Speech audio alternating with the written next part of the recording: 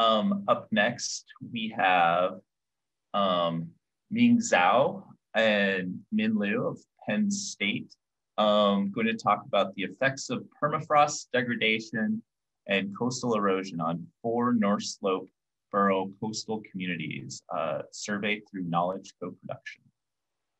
Thank you, James. Next slide, please.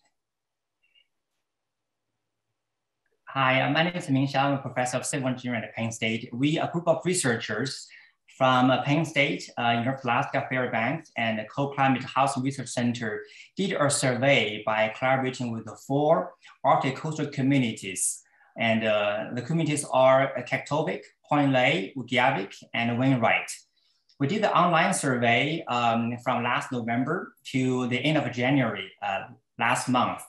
So in the survey, we asked uh, about uh, uh 10 questions on the permafrost thaw and coastal erosion and their impacts on the uh, infrastructures in terms of damages and repair. So altogether, we have 153 uh, local residents um, responded to the survey. So next slide, please. In the interest of time, and I'll only share just uh, you know uh, some of the results. So if you look at the uh, type of infrastructure that are affected by permafrost degradation or a thaw, and you can see in the four communities, and uh, the uh, infrastructure mainly affected are the houses, uh, runway, uh, school, ice and cellar, and water and sewer lines. And, uh, and of course, you know, this, you know, the proportion of those kind of varied uh, slightly from community to community. next, please. And if we look at next, if, if you look at the uh, uh, type of infrastructures uh, that affected by coastal erosion, in the four communities, we also see again, you know, the houses, runway, uh, schools, ice cellars, water and sewer lines, and all the, the main ones. And of course, you know, the proportion and also varied slightly. And others include maybe roads or, or utility doors. Next slide, please. Well, if we look at uh, the, uh, uh, the observations of the damages to the uh, residential houses caused by permafrost uh, thawing, the, uh, the residents you know, reported the majority of those you can see on the, on, on the light, left one, the majority says, well, there are um, damages to the houses.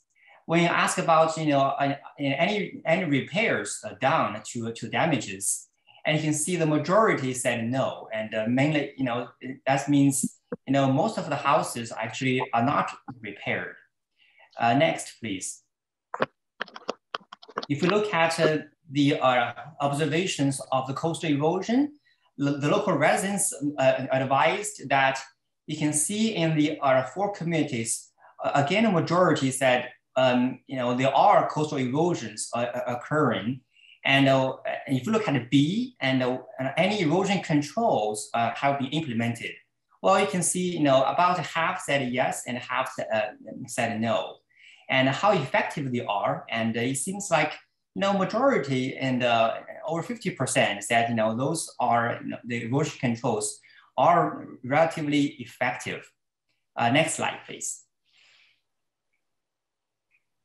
And um, we also did the other permafrost, uh, we look at the uh, uh, so-called the hotspots. So maybe next we can see all the, the four of them.